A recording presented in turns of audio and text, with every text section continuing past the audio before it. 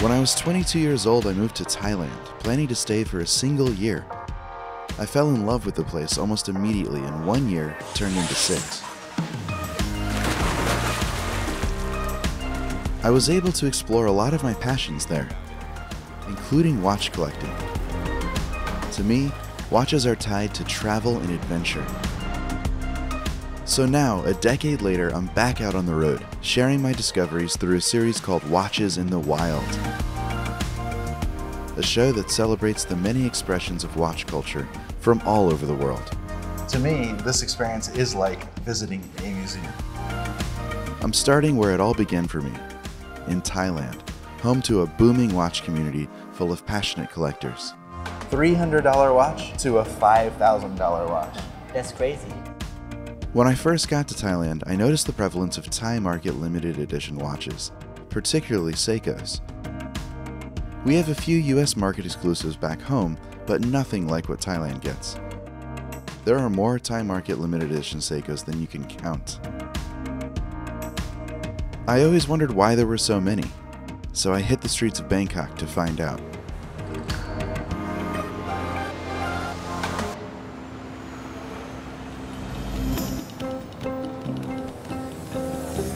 When it comes to Thai limited edition Seikos, the monster occupies a special place in the hierarchy of references. It's also where a lot of collections start. And one of the most serious Thai Seiko collectors is Khun M, and he's right here in Bangkok. A hell of a Seiko collection. My question to you is, why Seiko? Well, I have to go back to like uh, when I was young. Okay. After I graduate, I try to searching about the watch that should be the perfect watch for me that I can pay. One of the Seiko model. At that time, it still have the name SKX something Ah, that, yes. that is normal for Seiko, right? It look nice. The dial, the bezel, the, everything is look like the the monster. It's uh, coming up with the the, the slang of the Omega Seamaster. C Master. Seamaster. But the Seamaster is the value is high. Yeah. But this is cheap, so I call it Sea Monster.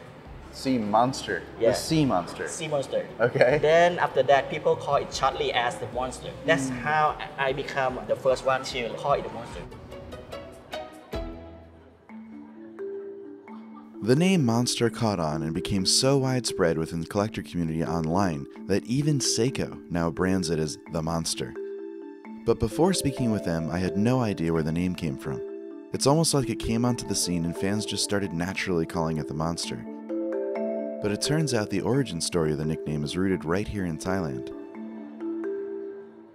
There is a watch I want to talk about because it's important to me personally. It's one of my all-time grails, and I'm sure anyone who's deep into monsters.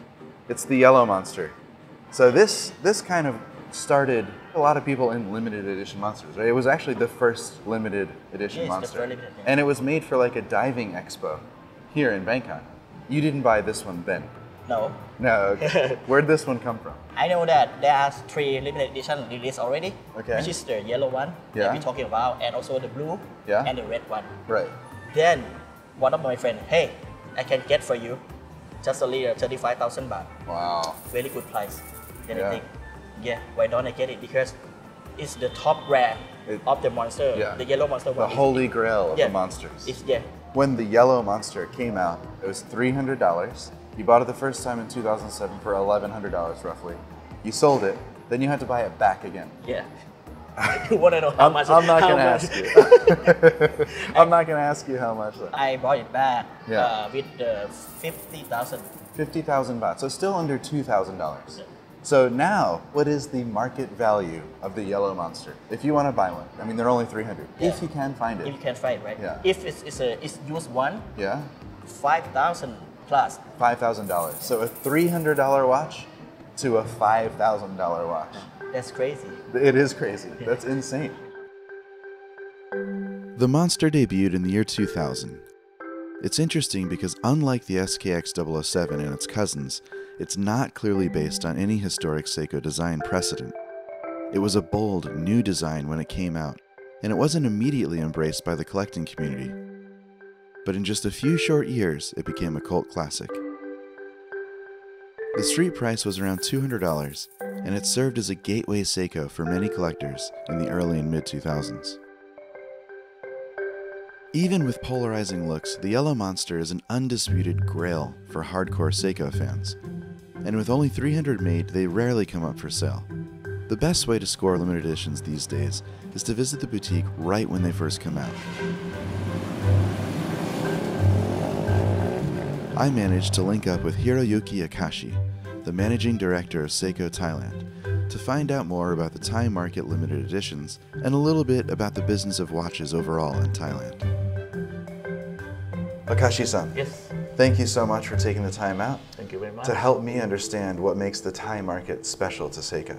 Back in 2000, we have globally launched first pieces of Seiko Monster. Seiko Monster, the Okay. legend. Yes, that's right. And then immediately after launch into the Thai market, mm-hmm. it became super popular Wow. in Thailand Yeah. among Thailand fans. Seiko understood this situation in Thailand Right. And they really appreciate the passion of the you know, uh, Seiko fans. Right. Then you know they decided to create a Thai limited edition of Seiko Monster. Yeah. And that tradition has continued Yes. for Monster and many other watches. Yes, that's right. That's right.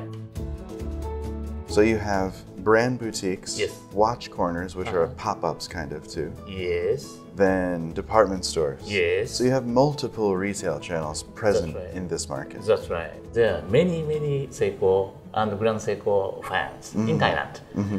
And also, you know, there are many private Seiko fan or Grand Seiko fan group mm-hmm. in Thailand. And also, you know, we are lucky and we are very happy we have a chance to, you know, communicate directly with them. As you can imagine, a Seiko fan in Thailand is very, very enthusiastic. Oh yeah. yes. It seems like the recipe Mm-hmm. for success in terms of getting limited editions is passion number one. Yes. Passion Mm-hmm. and a growing, strengthened relationship between Seiko, Thailand, and its consumers. That's right. That's Ah, right. fantastic. So the Yellow Monster marks the genesis of Thailand's limited editions, but the trend has extended to plenty of other models in Seiko's range too.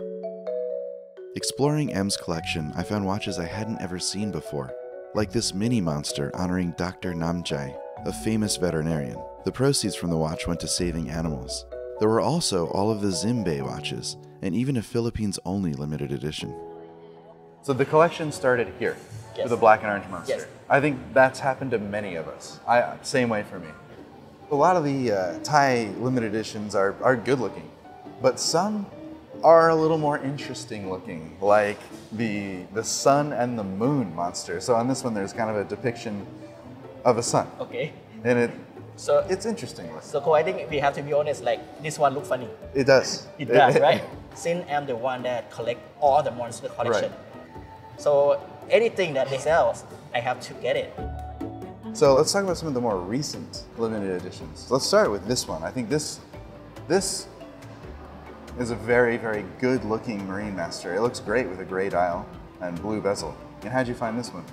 So I have friends in Hong Kong. I asked them to help get it for me. So you kind of over the years have set up a little watch network around the region. So wherever there's a, a limited edition, you have someone to call and get it there. Yes. We'll notice a pattern here. There's a lot of yellow in Thai. And this this is also a Thai limited edition. A yellow sumo.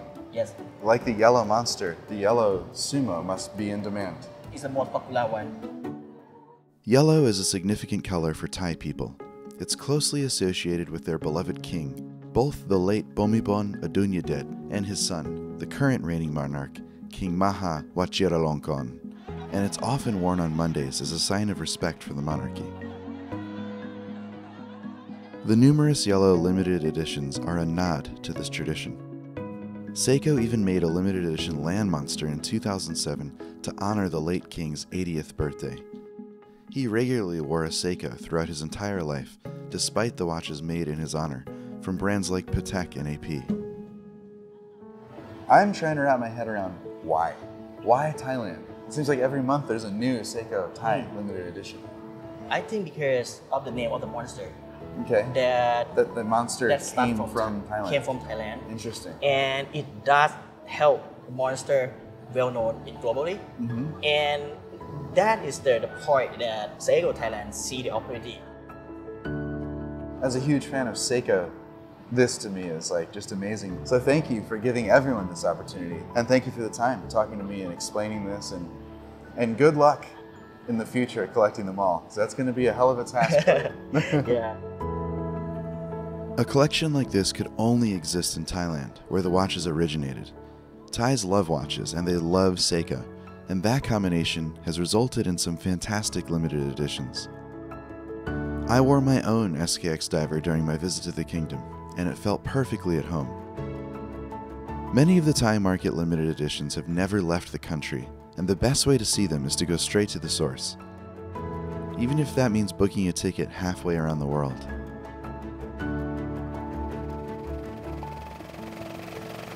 On the next episode of Watches in the Wild, we take to the skies and trace the history of early pilots' watches.